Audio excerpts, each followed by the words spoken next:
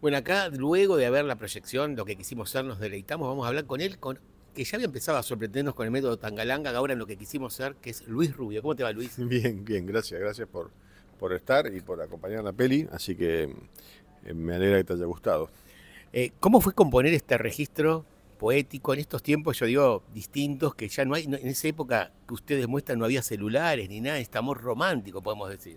Sí, sí, eh, bueno, es un poco la película apela, digamos, a, eso, al, vínculo, ¿verdad? La, la, soledad, unas cosas, algunos temas que son muy del, universo agresti, como Buenos Aires, la noche, los bares, eh, la literatura, el cine, la soledad, son todos tópicos muy presentes en la obra de, Agresti. Y acá con un agregado un tanto ah, particular, muy original la historia, porque ellos deciden contarse no la vida que tienen, sino conocerse a partir de la vida de que hubiesen querido tener, lo que quisimos ser. Y a partir de ese disparador, bueno, este vínculo donde em, los personajes se empiezan a inventar y el mío particularmente tiene que apelar a su imaginación para sostener, sostener ese vínculo.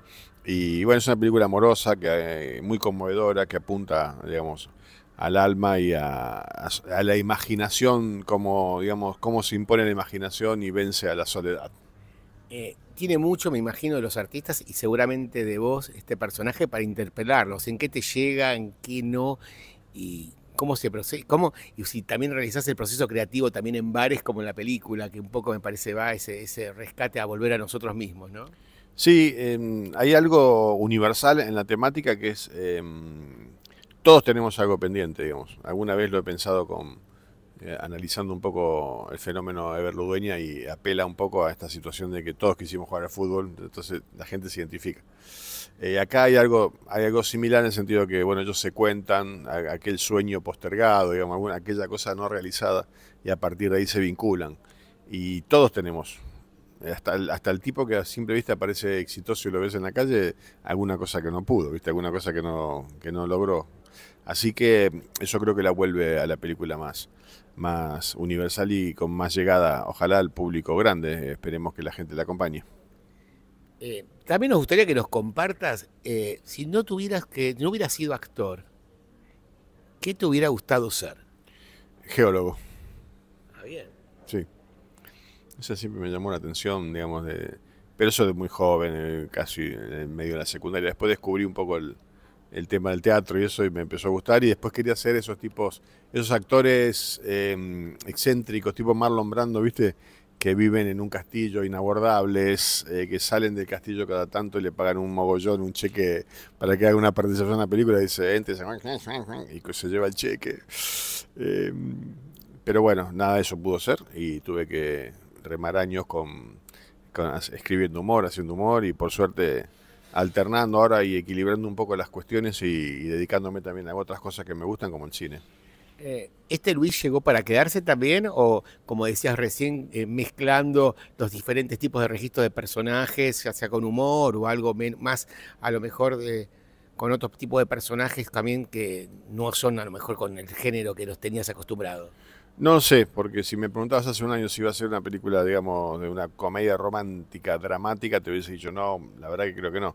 Yo estoy muy tranquilo con, digamos, con mi laburo, me divierto eh, y cuando viene algo lo abrazo con compromiso, eh, pregunto lo que no sé, trato de aprender y bueno, no tengo una, una estrategia o un plan, ¿viste? La verdad es que trato de, de hacer las cosas que me gustan y de disfrutarlo y, disfrutar el momento, porque en definitiva si ahora que hice una película como protagonista voy a estar esperando, si yo ya me planteo y que venga otro protagónico, ya tengo una falta que no tenía, digamos, prefiero no tener ninguna falta, estoy contento con, con, esto, orgulloso, espero que a la gente le guste y la verdad es que eh, eh, si me dijesen, esta es la última película que vas a hacer en tu vida, eh, está bien, está perfecto igual, ojalá, me gusta, me gusta mucho. Qué lindas palabras y aparte es entrañable. ¿Cómo fue el vínculo con tu co-keeper, la protagonista femenina, con Eleonora, Eleonora Wexler? Con Eleonora muy bueno, eh, no nos conocíamos, nunca habíamos laburado juntos, así que siempre es un desafío, porque no sabes, viste, como hay tema ahí medio mágico de química que por ahí congenias o por ahí, viste, no. Y empezamos, hubo un, hubo un par de reuniones, un almuerzo, y cuando empezamos a pasar letra, ensayar, surgió, surgió digamos, un entendimiento muy bueno, que nos ayudó muchísimo y ella, bueno, es muy profesional en esto. Leonora es más joven que yo, pero tiene muchos más años de ficción y de, cine, de series, así que me ayudó mucho y yo me, apoyé un poco en ese, en que ella marque un poco ese, ese, ritmo. Yo en algún punto soy un actor más, más silvestre, más salvaje, digamos. Vengo de. Soy un cuerpo extraño, más allá de que tengo un cuerpo extraño, soy un, cuerpo, soy un cuerpo extraño en el sentido que no pertenezco mucho a esta industria, así que lo que también me da cierta imputabilidad, ¿viste? Para, para pasarla bien y disfrutar, bueno, y, y poder dar lo mejor como hicimos acá en lo que quisimos ser. Para despedirnos, cortito, a ver qué podemos hacer sin querer, sabemos que estás con un montón de compromisos. Tres cuestiones, tres causas porque la gente no puede perderse, dejar de ver lo que quisimos ser? Bueno, eh, porque prioriza, porque es el triunfo de la imaginación sobre la soledad, porque es una película que prioriza mm, el vínculo y ellos eh, se salvan y se ayudan a partir de, ese, de sostener ese vínculo.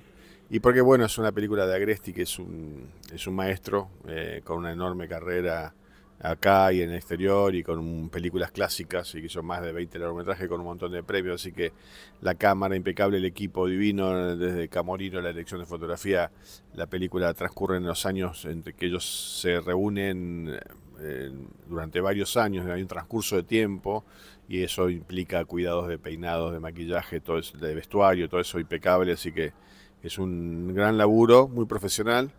Eh, y bueno, hay que apoyar el cine argentino, sobre todo en estos momentos de crisis, en que también para nosotros es una alegría extra estrenar una película eh, argentina en este momento. Yo voy a agregar, la, agregar la cuarta como espectador que fui, nadie se salva solo. Nadie se salva solo, es verdad. Nos vemos en los cines. Muchísimas gracias, Luis. Gracias a vos.